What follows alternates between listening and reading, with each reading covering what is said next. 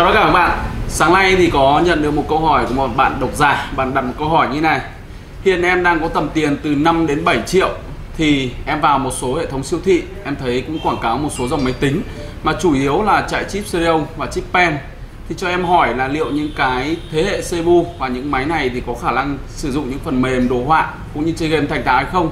Thì anh có thể làm một cái video chi tiết anh giới thiệu cho em bởi vì em cũng tham khảo rất nhiều, bởi vì cái tầm tiền 5 6 triệu nếu mua những chiếc máy mới tại hệ thống siêu thị thì đại đa số nó cấu hình rất là thấp và chủ yếu là những tính năng cơ bản. Thì nói thực sự thì nếu mà em muốn mua một chiếc máy cũ thì bố mẹ em lại không đồng ý thì anh có thể làm một cái video chi tiết phân tích để cho bố mẹ em hiểu. Thì hôm nay mình sẽ làm một cái video như này.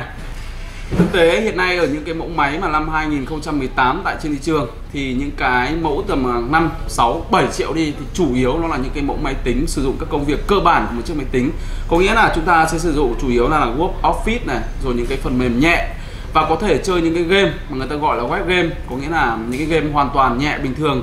Còn nếu các bạn sử dụng để chơi game hay làm đồ họa chuyên nghiệp thì thực tế những cái máy này nó sẽ không đủ cấu hình để chạy hoặc có thể chạy được thì nó rất giật và mất nhiều thời gian mình ví dụ có khi các bạn dùng một phần mềm để các bạn chỉnh sửa ảnh chẳng hạn.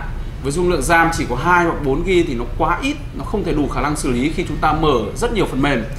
Mà chip CD-ROM thì anh em tham khảo thì thấy xung nhịp chip của nó từ 1.0 này 1.1 và cao cũng chỉ là hơn chấm một chút.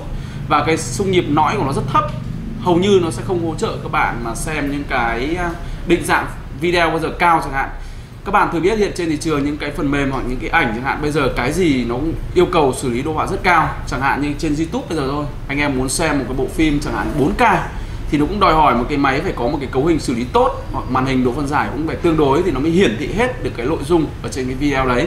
Chính vì thế những cái máy thấp thì phải nói thẳng thắn với các bạn nó chỉ sử dụng những công việc cơ bản. Có nghĩa là các bạn dùng các công việc văn phòng hoặc nhẹ nhàng à, những cái phần mềm chỉnh sửa ảnh. Nói chung là những ở mức tầm trung chưa phải chuyên nghiệp thì chúng ta sẽ dùng bình thường còn nếu mà cao cấp chúng ta sử dụng và thì những cái máy đấy mình khẳng định các bạn thì không thể làm được và nó chậm và mất nhiều thời gian của anh em. Còn nếu như chúng ta mua những chiếc laptop cũ trên thị trường với tầm 6-7 triệu thì chúng ta sẽ mua được chiếc i5 hoặc i7 như các bạn cũng biết là i5 và i7 thì mình đã làm rất nhiều video là cũng có khá nhiều thế hệ. Ví dụ như hiện nay để làm những cái phần mềm mà cơ bản, ví dụ Photoshop hoặc chỉnh sửa AutoCAD chẳng hạn thì chúng ta cần ít nhất một con CPU ít nhất không phải là i5 thế hệ thứ ba hoặc i7 thế hệ thứ hai cũng được và RAM thì tối thiểu phải 4 GB và cái quan trọng nữa đó là phải có xử lý card đồ họa rời. Tầm ít nhất khoảng dung lượng 512 hoặc 1 GB thì chúng ta sẽ xử lý ok ngon lành. Nhưng mà cái rủi ro khi chúng ta mua máy cũ các bạn biết là ví dụ những cái model mà đời mà 2010, 2001, 2012 thì những cái tuổi thọ của những dòng máy này hiện giờ vẫn dùng được. Nhưng sẽ có một số linh kiện nó kém đi. Ví dụ như là pin này hoặc là bàn phím hoặc cũng có thể là màn hình thì các bạn mua các bạn phải tham khảo và tìm hiểu thật kỹ và giúp à, phải nhờ những cửa hàng mà người ta tìm hiểu những cửa hàng người ta bán uy tín và người ta test kỹ. Còn thực ra những cái dòng máy này cũ thì thực tế dùng vẫn có thể được thêm 3 đến 4 năm nếu chúng ta biết chọn và biết dùng. Và lưu ý các bạn là những dòng này bây giờ hiện giờ thì ổ cứng của nó rất là kém và pin kém. Nếu chúng ta mua được theo như mình các bạn lên nâng cấp lên ổ cứng SD là chúng ta dùng hoàn toàn bình thường và những cái tốc độ chúng ta khởi động những ứng dụng cũng như chạy những cái máy này hoàn toàn có thể đảm bảo chúng ta có thể chơi những cái game nhẹ nhàng như là LOL, FIFA vẫn có thể chơi được cũng khá là tốt.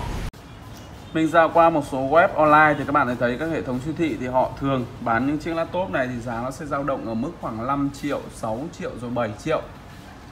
Mình nói ví dụ một con à, máy của Lenovo này, Acer này và Asus thường là sẽ tham gia phân khúc giá rẻ hoặc HP ví dụ mình đang xem một con 5 triệu đi. Đây 5 triệu này các bạn nhìn thấy cái thông số của nó chỉ là chip Celeron này N3350 1.0 1.10 2GB thôi các bạn ạ.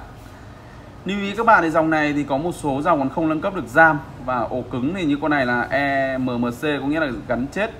Nhiều khi sẽ không thay thế được, nó chỉ có 32GB này. Đấy. Mình sẽ con cao cấp hơn 7 triệu đi, của HP đi. Nó sẽ dừng lại chủ yếu ở RAM hoặc 2 hoặc 4GB này con này là 1.6 khá khẩm hơn và màn hình 14 inch HD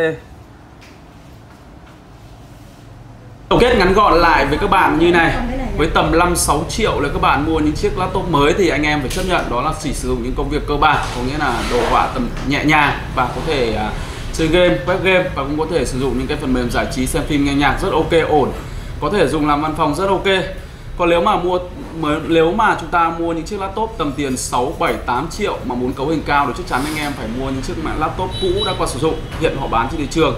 Thì lưu ý với các bạn, những cái mua laptop cũ thì anh em phải tham khảo luôn, đó là cái thông số thứ nhất là ổ cứng và pin. Đó là hai cái bộ phận mà đã khấu hao rất cao và màn hình và thêm một số bộ phận khác. Thì hiện nay nếu mà chiếc laptop cũ vậy thì chúng ta chỉ cần mua những cái máy i5 thế hệ thứ hai hoặc thứ ba đổ lên là chúng ta dùng ngon. Còn nếu chúng ta có điều kiện hơn thì một số cửa hàng bán những con chip U chẳng hạn ấy nó từ thế hệ 4 hoặc thế hệ 5 thì nó cũng chỉ dao động khoảng 7 8 triệu. Chip U thì đúng ra thì về nguyên lý thì nó chắc chắn hơn mãi là chip Pentium mà cả hay bán ở các hệ thống siêu thị cũng như chip khác. Còn nếu như chúng ta thực sự để mua những chiếc laptop mà sử dụng những cái công việc bài bản hàng ngày, ngon lành thì cũng phải nói với các bạn là nó phải tầm 15 16 triệu. Còn nếu cao cấp xử lý đồ họa cũng như game thì phải trên 20 triệu còn những cái dòng mà người ta gọi là sản phẩm chuyên nghiệp mà dùng cho dân đồ họa hay là chơi game mà lại mạnh nhất hiện nay trên thị trường thì ít nhất cũng phải 4 50 triệu chúng ta mới sở hữu được những chiếc laptop cơ bản mà sử dụng đầy đủ hết các tính năng mạnh nhất của bây giờ. Đây, chương trình à, tư vấn với các bạn của mình đến đây là kết thúc. Còn nếu mà các bạn có những cái câu hỏi gì không biết về máy tính hay macbook hay những cái sản phẩm gì liên quan đến công nghệ thông tin cứ vui lòng comment bên dưới. Mình sẽ quay những cái video mình trả lời cho các bạn như này. Thân chào các bạn hẹn gặp lại.